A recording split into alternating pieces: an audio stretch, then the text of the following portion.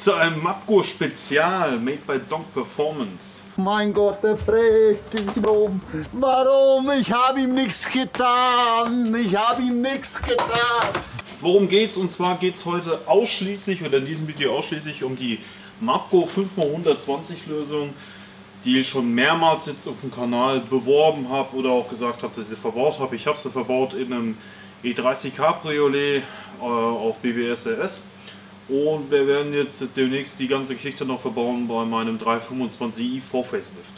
Ihr werdet euch fragen, was ist denn eigentlich so speziell an den Sachen von der Firma Mapco und warum bewirbt das eigentlich Onkel Dunk? Das ist ein ganz einfacher Grund. Die Firma Mapco hat original 4x100er Scheiben vom E30, wie ich jetzt hier in der Hand habe, genommen und hat eine 520er Mittellochzentrierung reingemacht und auch natürlich auch die 520 ähm, Bohrung. Natürlich nicht nur die Scheiben vorne wie hinten, sondern auch die Radnaben. Diese Kombination hier, wir kennen sie, die vordere Radnabe mit Radlager eine Einheit, passen schon auf 5x120, leider mit der falschen Mittellochzentrierung, wie wir sehen, passt das auch zusammen.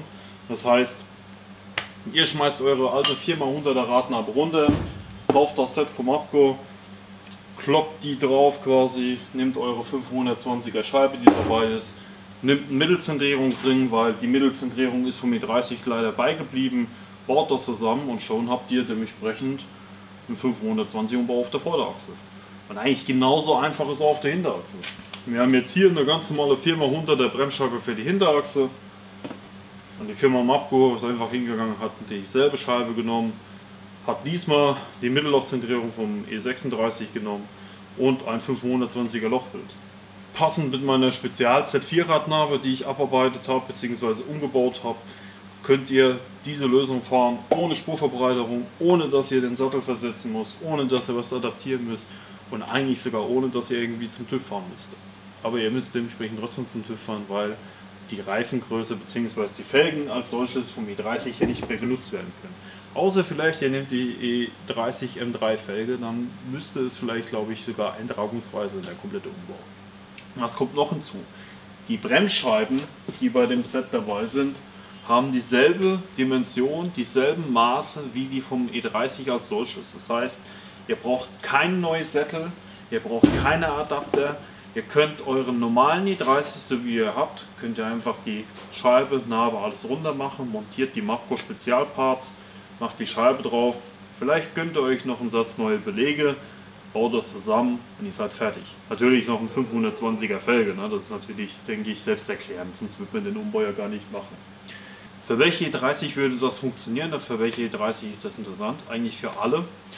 Ich habe jetzt aber schon die Frage bekommen von Leuten, die Trommelbremse auf der Hinterachse fahren. Mit diesem Kit könnt ihr natürlich leider nicht einfach umbauen auf Scheibenbremse. Nach wie vor braucht ihr auf der Hinterachse Schwingen für eine Sattel, Sattelaufnahme und was noch hinzukommt, wenn ihr vorne volle Scheiben fährt, wird das auch nicht funktionieren. Da braucht ihr dementsprechend einen Sattelhalter für innenbelüftete Scheiben, weil die Scheiben von der Firma Marco sind innenbelüftet und dadurch ein bisschen dicker als die vollen Scheiben vom E30, der, die beim 316, 318, ich glaube auch sogar beim 320 verbaut waren.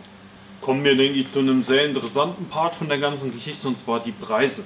Die vorderen Narben, also zwei Stück, ein Satz, kosten 159,90 Euro plus Versand natürlich. Wenn ihr das Ganze als Set bestellen wollt, also mit passenden Bremsscheiben, kostet der Spaß 274,90 Die hinteren Narben gibt es als Komplettset zusammen mit einem Radlager, passend für den E30.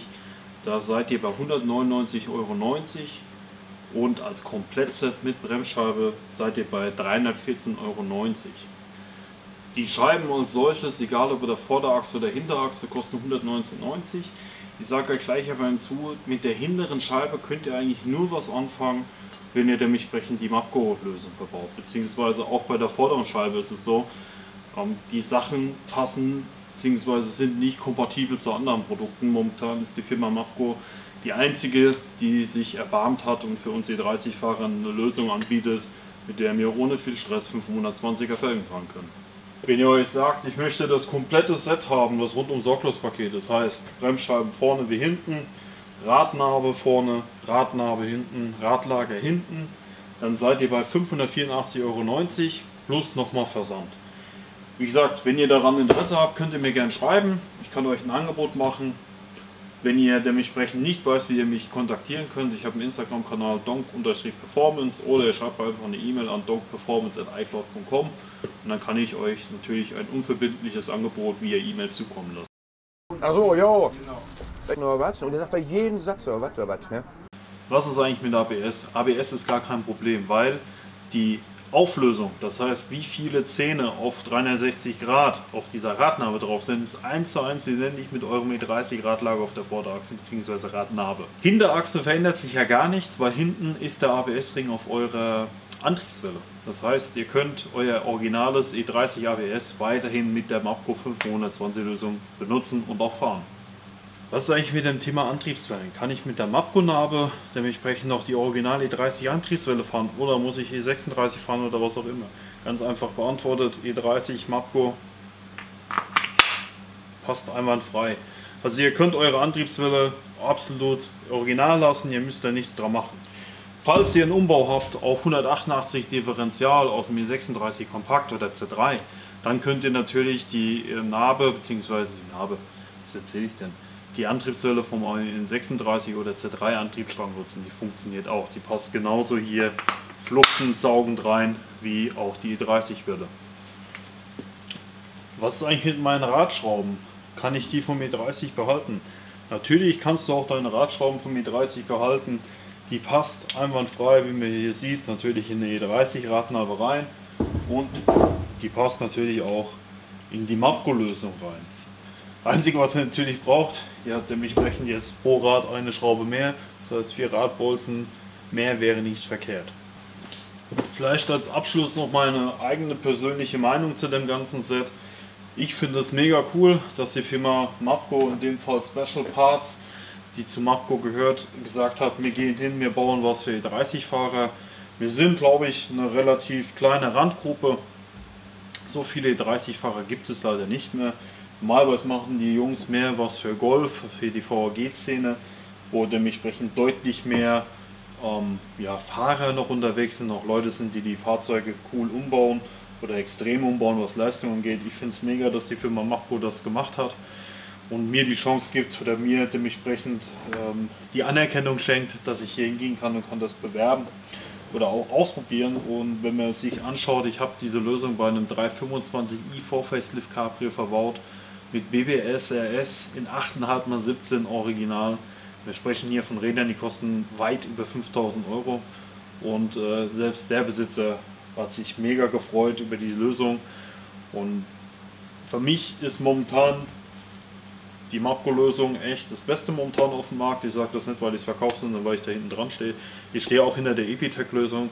Die ist auch echt gut, aber mit dieser Lösung spart ihr euch definitiv 7 mm auf der Vorderachse und 2,5 mm auf der Hinterachse Spurverbreitung. Ich werde, weil ich persönlich mit diesen normalen E30 Lochmaßen, äh, mit diesen E30 Original Bremsscheibendurchmesser nichts anfangen kann, werde ich umbauen. Ich werde hingehen, wird eine größere Bremsanlage entwickeln. Das kann sein, dass das relativ lange dauern wird für euch. Ich werde wahrscheinlich mir Scheiben selbst bearbeiten, das heißt, ich werde die Scheiben selbst drehen und äh, das Lochbild anpassen. Wenn das nämlich brechen dann aus der Prototypenphase raus ist, dann wird diese Scheiben komplett umbehandelt, quasi von der Firma Mapco gehen. Warum spreche ich von umbehandelt? Die Firma Mapco hat halt das Glück, dadurch, dass sie diese Scheiben eh herstellen, sind natürlich diese fünf Löcher und dieses große Loch hier in der Mitte, das ist gar nicht drin, das ist quasi ein sogenannter Rolling und dann kann man hier reinmachen, was man möchte. Und wenn ich eine passende Scheibe gefunden habe für die Vorderachse und Hinterachse, wo von ihrer Topftiefe quasi passend wäre und auch von ihrem Durchmesser, Außendurchmesser passend ist, dann will ich diese Scheibe nehmen, mache mir ein 520er Lochbild rein, werde das dann ausprobieren mit Satteladaptern und dementsprechend dann eine Lösung bauen. Ich kann euch schon mal verraten, es wird sehr wahrscheinlich die E34 540i oder E36 M3, das ist dasselbe, die Sättel von dem Fahrzeug nehmen und wie gesagt in Größenordnung 300 mm vorne wie hinten fahren. In diesem Sinne, schau, ich sage vielen Dank fürs Gucken, Kommentieren, Abonnieren, bis zum nächsten Mal.